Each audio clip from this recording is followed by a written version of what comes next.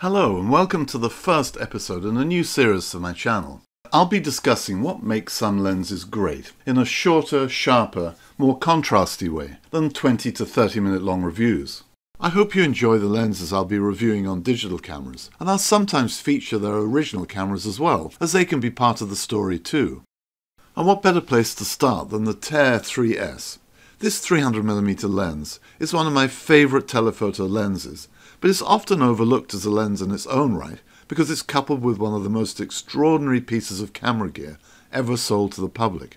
Not everyone is comfortable with the Photosniper's gun-like appearance, but if you actually use it as a photographic tool, it begins to make a lot more sense.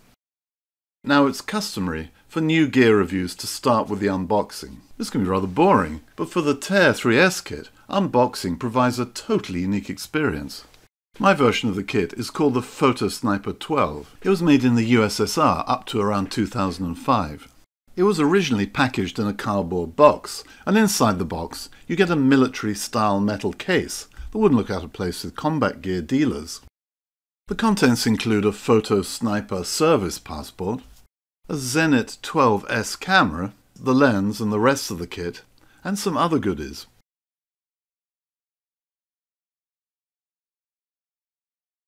It's a relatively easy task to assemble the kit into the camera gun with the right connections.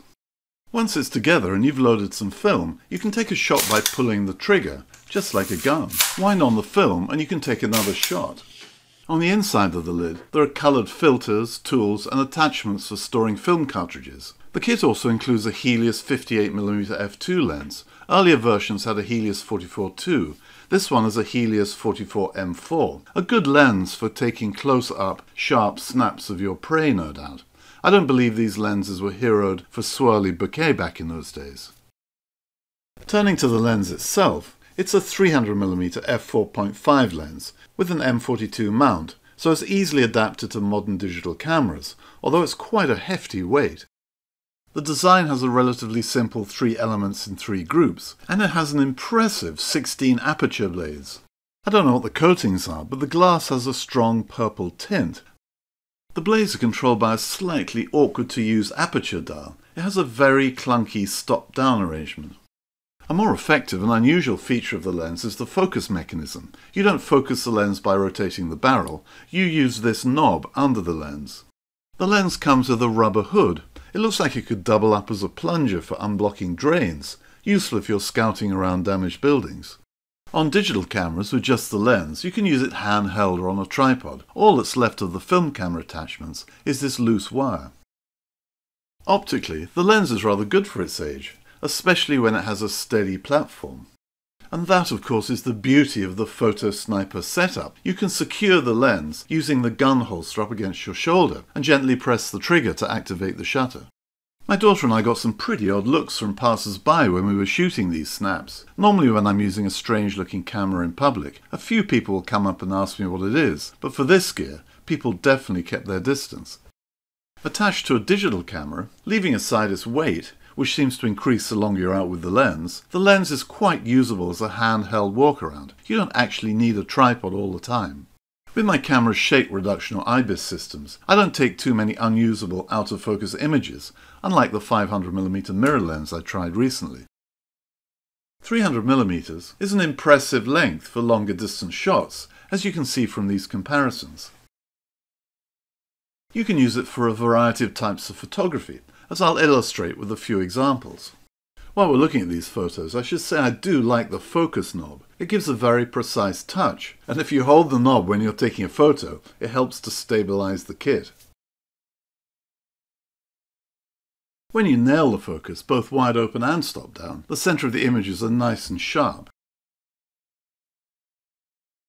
On the downside, the lens lacks some contrast, but a contrast and color boost can improve the images considerably. Or you can go for high contrast black and white processing.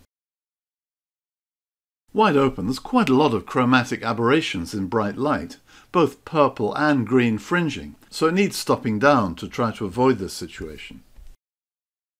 The lens's minimum focusing distance is 3 meters, which doesn't sound so good, but given its 300mm reach, it is possible to produce closer-up shots with a very narrow depth of field.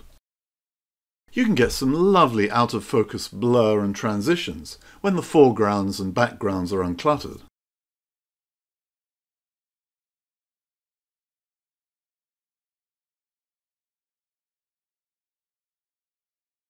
The lens copes well with busy backgrounds, rendering attractive, smoothed out results.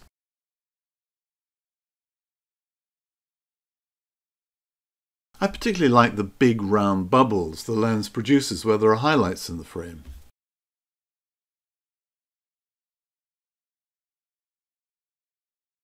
And the large number of blades helps to keep smooth edges to these bubbles when you stop down. Indeed, stopping down from f4.5 to say f8, you still get a lot of good blur and bubbles, useful if you want to maximize the sharpness of in-focus subjects, but retain a blurry background.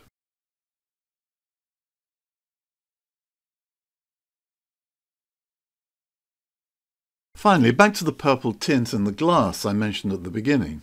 This isn't a factor for many images. However, I have noticed a slight purple coloration to darker areas of some compositions, in this straight out of camera photo of jet black railings, for example, there is definitely a purplish hue to them, but it's easy to adjust in post-processing. So in conclusion, a good lens, but what makes it great is the kit. I think it's safe to say that we'll never see its like sold to the general public again. Generals maybe, but not the public. Please let me know what you think of this lens, and if you like the idea of a series of shorter, sharper reviews. Please also subscribe if you haven't already done so.